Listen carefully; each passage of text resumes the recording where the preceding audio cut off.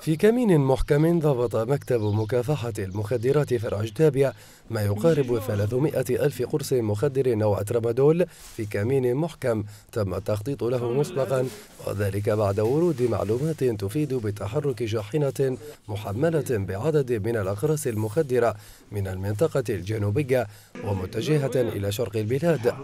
بعد ورود معلومات مصدرية من أحد مصادرنا السرية بأن هناك شخص يقوم بجلب كميات كبيرة من المنطقة الجنوبية إلى المنطقة الشرقية من الأقراص المخدرة. تم إخبار السيد مدير الفرع الرائد إدريس ذويب بالمعلومة. على أثرها أصدر تعليماته بتكليف أعضاء تحريات في في مدينة طبرق. وكما كلف دوريات ثابتة في مداخل مدينة جدابية من الشرق والغرب وذلك لرصد الشاحنة عند دخولها أو خروجها من مدينة جدابية.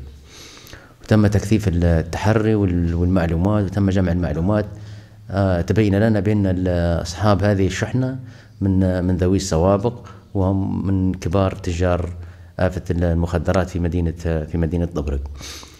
وتم رصد الشاحنة عند ذهابها إلى المنطقة الجنوبية وتم التمركز في مدينة جدابية. وعند رجوعها من من مدينة سبها تم ضبطها في تم ضبطها في مدينة جدابية عند عند جزيرة طريق طريق طبرق بالتحديد. تم تفتيش الشاحنة وتم ضبط هذه الكمية وهي 300 ألف قرص مخدر نوع نوع نوع ترامادول في ومن ومن يومين ضبطنا قضية مئة ألف. ومن أسبوع ضبطنا مصنع الخمرة يسع أربعة آلاف لتر.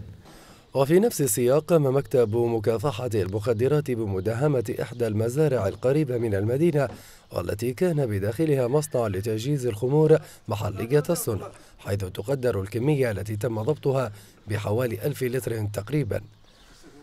المشتبه بهم تمت إحالتهم لجهة الاختصاص من أجل استكمال الإجراءات القانونية النهائية حيالهم واعترافهم بما قاموا بارتكابه من جرم أمام الجهة المسؤولة.